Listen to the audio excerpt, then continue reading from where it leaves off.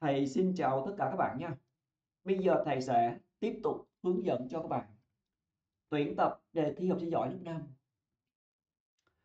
Thì ở những video trước đó, thầy đã hướng dẫn cho các bạn xong đề số 1 và đề số 2. Thầy đã hướng dẫn xong cho các bạn phần nghe nha. Rồi phần chọn từ không cùng loại, phần phát âm, phần ngữ pháp, sửa đổi sai, phần chia thì. Ở video này thầy sẽ hướng dẫn phần còn lại nhé Phần này các bạn điền cái chữ bên trên xuống bên dưới. Bạn nhìn nè, thầy có chữ in chỗ này. Vậy thì cái vị trí này sẽ là danh từ.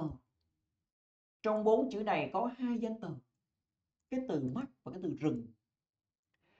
Bộ phim hoặc động vật ưa thích nhất của tôi là con khỉ. Ngày hôm qua tôi xem phim hình về con khỉ. Có một con cọp già. Cái con mà sống ở trong rừng. Ôi cái này rừng mới đúng.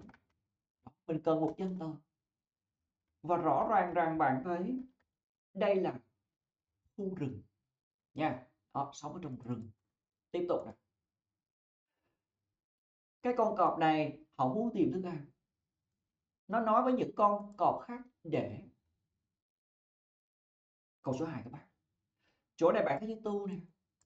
Thầy cần một động từ và trong những chữ này nè, chỉ có một động từ nguyên một. Đó là cái từ bring nha. Để mang đồ ăn cho nó. Thì đến được con khỉ. Con khỉ chả mang gì hết. Con khỉ nói với con cọp, xin lỗi. Có một con cọp ở đằng kia. À, cái con cọp này thì cái gì đó hơn bạn. À, chữ đen. Vậy thì bạn chọn thầy chữ stronger nha. Mang ý nghĩa là so sánh. Chỉ có chữ này đúng mà các bạn. Chả sẽ đúng được. Anh ấy nói tôi không mang cho bạn bất cứ thứ gì. Tôi sợ anh ấy. À, cái gì chỉ cho tôi con cọp đó. Con cọp già này la lên. Đi với tôi. Con khỉ nói. Con khỉ dẫn con cọp tới một dòng sông lớn. Khi mà dòng khi mà con con cọp á, nhìn vào dòng sông, nó thấy cái đầu, cái răng trắng và cái gì đó xanh lớn của một con cọp. Câu số 4. Bạn có chữ green là tính từ. Chắc chắn chúng ta cần một danh từ. Đây là danh từ còn lại của bài. Nha. Họ thấy cái con mắt xanh của con cọp. Có nghĩa là thấy bóng cái dòng sông đó bạn. Nó la lên. Tôi sẽ ăn thịt bà Thì với những chữ này, con cọp cái gì đó trong dòng sông. Câu số 5 các bác. Bạn rõ ràng cần một cái danh từ, ở à, một cái động từ. Bởi vì chữ này là chủ ngữ nè. Và động từ của chúng ta chính là cái từ chung. Đó. Nhảy vào trong dòng sông. Các bạn nhé. Con cọp nhảy vào trong dòng sông. Thấy bóng của mình hét lên. Dưới kia có cái bóng con cọp nói lên. Tưởng là con cọp khác. Nó sợ nó nhảy vào trong dòng sâu Rồi tiếp tục các bạn nè. Thầy chuyển sang một bài tiếp theo các bạn nhé. Một bài tiếp theo. Đây. Chính là bài tiếp theo. Thì trong bài này á, các bạn sẽ điền cái chữ cho sẵn nè. Các bạn điền cái chữ cho sẵn bên dưới nè. Nè. Các bạn điền chữ cho sẵn dưới nha. Thì zoom lại chút dễ nhìn nè. Đó, điền chữ mình cho sẵn bên dưới. Mình làm cùng với nhau các bạn nè. Thì mỗi trẻ em ở Việt Nam đó có thể có hai ngày đặc biệt. Câu số 1 bạn thấy chữ can. Bạn dùng V1 cho thầy. Rất dễ dàng. Cái ngày đầu tiên là ngày quốc tế thiếu nhi vào một tháng 6. Ngày thứ hai là Tết Trung Thu vào ngày 15 của tháng thứ 8 trong âm lịch. Ở cái này là âm lịch đó. Là lịch ở dưới đó các bạn. Tháng thứ 8. Thì bạn chọn thầy của A nè. Đó, Tết Trung Thu đó các bạn. Đây chính là bạn nào mà không biết không có kiến thức về xã hội không biết Tết Trung Thu tháng mấy lận được nha câu này phải biết kiến thức xã hội thì cái mặt trăng thì tròn và đầy nhất vào ngày đó. Có nhiều chương trình TV trẻ em các buổi tiệc. Cái gì đó cho trẻ em vào những ngày này. Bạn thấy nè, chương trình những buổi tiệc. Thì chỗ này bạn chọn thầy hoạt động, nhiều hoạt động. Thì tất cả trẻ em đều vui với bạn bè của họ. Chỗ này bạn thấy tất cả trẻ em, thì chỗ này bạn chọn là chữ đè nè, nha. Đó, bạn bè của họ. Ở cái hoạt động trường.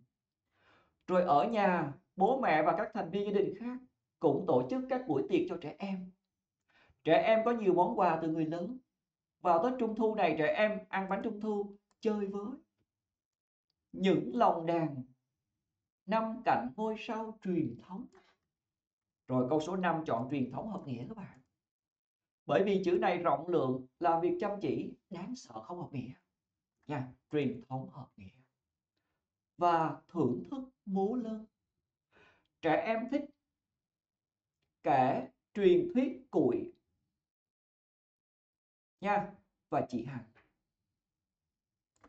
Chỗ này đáng lẽ là bị động đó các bác nha, thích được kể.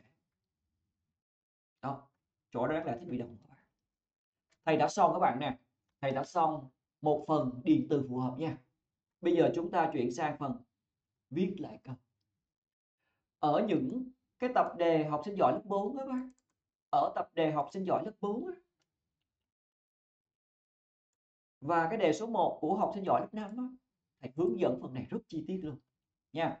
Ở đây thì chúng ta sẽ đi nhanh hơn một chút xíu rồi bạn nào thấy chữ si biết hoa nè, nha. Đó, chữ si biết hoa nè. Cho đứng đầu. Rồi tới động từ nha. Rồi tới object các bạn nè. Cô ấy là một. Rồi thầy tới tính từ nè pretty nè. Rồi tới danh từ, công chúa. Đó. Các bạn cứ nhìn chữ bên trên và đoán câu nha một công chúa đẹp. Với nè với cái gì các bạn nè? À, xoăn nè màu đen. Rồi tới chữ tóc. Rồi xong. Nha cô ấy là một công chúa đẹp có cái mái tóc màu đen xoăn. Xong nè. Phần này các bạn viết xong nhớ đếm chữ nha. Mình đoán nè bây giờ chúng ta chuyển sang câu tiếp theo nè. Đó, câu tiếp theo nè. Thì cũng tương tự luôn. Bạn thấy chữ si đó các bác người ta viết đầu thầy nhìn những chữ trên đây á, thầy đoán được câu này là cô ấy không bao giờ nói chuyện với bạn trên điện thoại. Lúc làm việc, thầy sẽ viết theo hướng đó. Cô ấy không bao giờ nói chuyện nha, với bạn của cô ấy đây, trên điện thoại nha bạn làm xong rồi bạn nhớ đếm chữ nha, nhớ đếm chữ. Nếu thiếu thì bổ sung vào. Thầy chuyển sang câu số 3 nè. Thì câu số 3 bạn phát hiện đây là câu hỏi. Câu hỏi có chữ what đứng đầu. Và trong câu này có cho bạn chữ what viết hoa luôn. Rồi what, cộng trợ động từ nè, cộng chủ ngữ nè cộng động từ chính các bạn nè to be in the future. Rồi, câu này dễ thì làm nhanh. Cuối câu dấu hỏi nha. Bạn nào không biết dấu hỏi là sai đấy? Tiếp tục nè. Câu này cũng là câu hỏi luôn. Rồi hao nha. Tới trợ động từ. Tới chủ ngữ.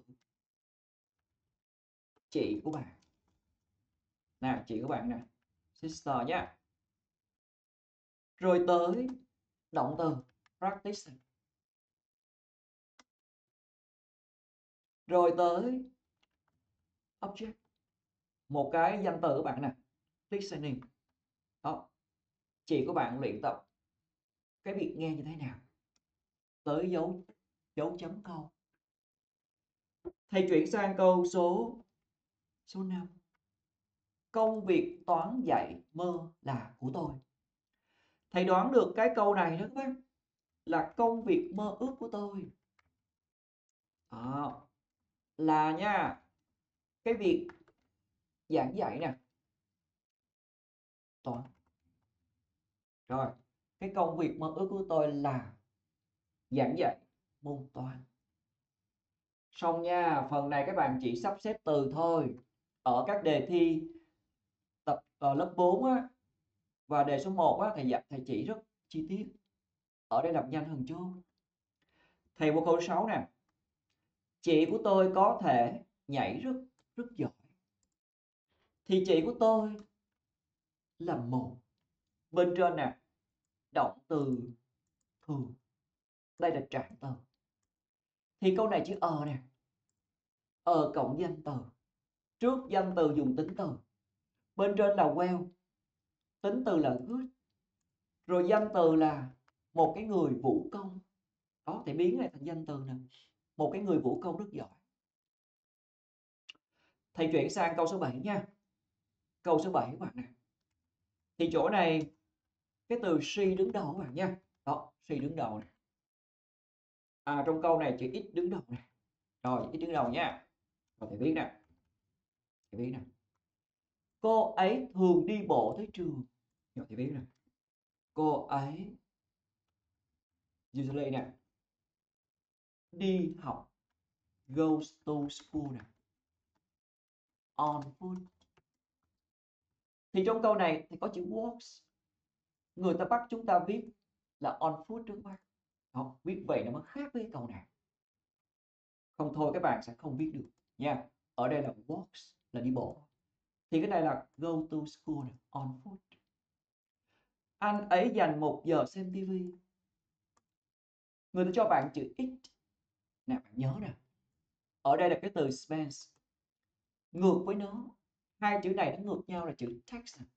it tax, it tax cộng người là hiếm. cộng thời gian. Cộng tu vớt rồi xong. Nhớ công thức nha. Spend cộng thời gian cộng verb in contact cộng người cộng thời gian. Cộng tu vớt hoặc một ngày nè. Một giờ một ngày, thời gian cộng tu vớt hai cái này các bạn, nó ngược qua ngược lại. Cứ cho trên viết dưới, cho dưới viết trên, nhớ thầy. Câu 9 nè. Thì giá cả của cái áo sơ mi này là gì? Cái này hỏi giá đó các bác nè how much có hai cách hỏi nha how much is this à, t-shirt nha? Có hai cách hỏi các bạn. đây là cách thứ nhất.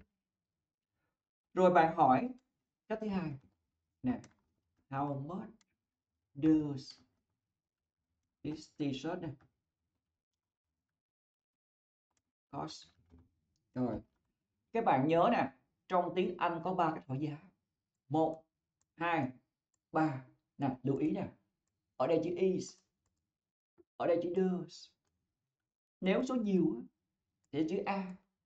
Số nhiều là chữ do nhớ nha. Nhiều bạn cứ đổi chút là không biết viết. Bởi vì các bạn, ngữ pháp các bạn chưa có ổn. Thầy chuyển sang câu số 10 nè. Anh ấy thích bóng đá và cầu lông. Cho các bạn chữ his là của anh ấy. Thì thầy sẽ đoán là cái môn thể thao ưa thích của anh ấy nè ưa thích nè. Favorite nè. À, sports nha.